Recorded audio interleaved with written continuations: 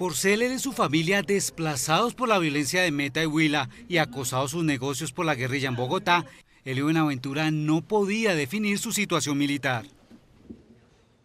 Me tocaba seguir un papeleo de el problema de sacarla, definir la situación militar, pues el cobro de eso es un cobro muy elevado.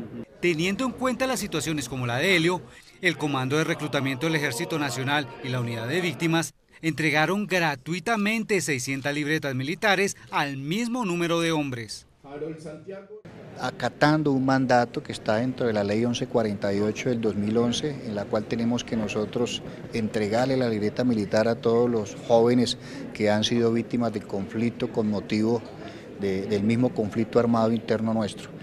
Para obtener la libreta militar, estas personas consideradas en peligro se inscribieron en la unidad de víctimas y con la información suministrada al ejército lo registró en sus expedientes y al cabo de un corto tiempo les entregó el documento. Van a tener una oportunidad de estudio, de trabajo, gracias a esta acción que desde el ejército de Colombia se realiza y que permite cumplir con una de las medidas que la política para las víctimas tiene. Al día de hoy el Comando de Reclutamiento ha entregado 30.000 libretas en toda Colombia, 20.000 en 2016 y 10.000 en lo que va del 2017.